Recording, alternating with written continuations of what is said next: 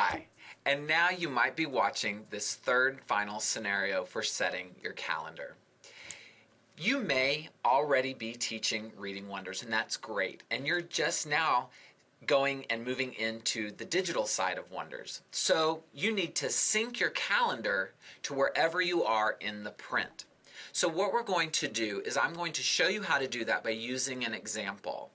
I'm going to say that I am a first grade teacher and that I am teaching Unit 1, Week 2 and the date today is September 8th. So I need my calendar to match so that I'm teaching Unit 1, Week 2 on September 8th. So join me online and I'll show you how to do that. Okay, so now you're looking at my ConnectEd book bag. And remember, we're using the first grade example. So I'm going to click into my teacher edition for grade 1. Now, of course, this calendar is already set up, so I want to walk through starting this new calendar so you can see it from your perspective. So I'm going to click on Manage and Assign. Then I'm going to go to Class Details. And over to the right, I've got Create a Class. So now you've clicked from your book bag and you're here at the setup wizard.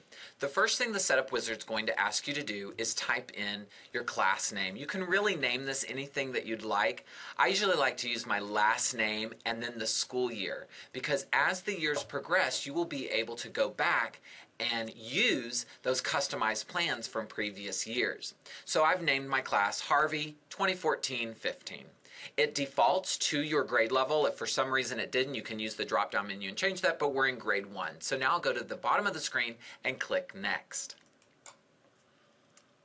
Now the setup wizard is asking you to set your first teaching day. Now the system will default to whatever day is actually today. So I'm recording this video and it's May 29, 2014, but my first teaching day is going to be in August.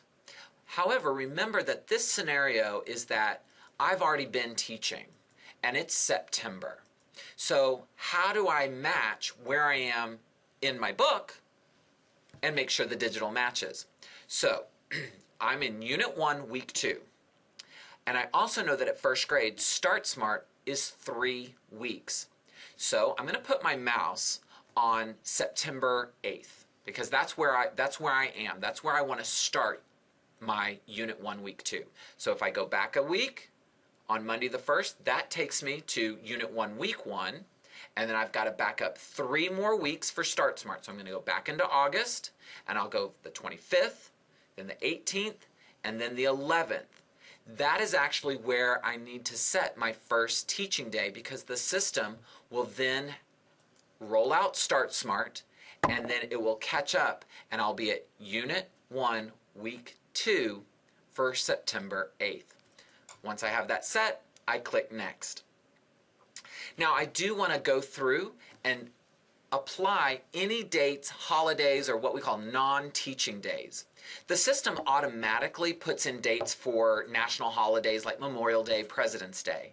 But this is where it'll be very helpful for you to have your school calendar so you can put in any particular dates that are specific to your district. So I'm just going to do a couple as an example. For example, I'm going to say we have a staff development day on August, excuse me, on October the 6th. So I mark that turns blue. I also know that I'm off for the whole week of Thanksgiving, so I can mark uh, Monday, November 24th, the 25th, the 26th as non teaching days. And of course, I would go through the whole school year as best as my knowledge tells me right now.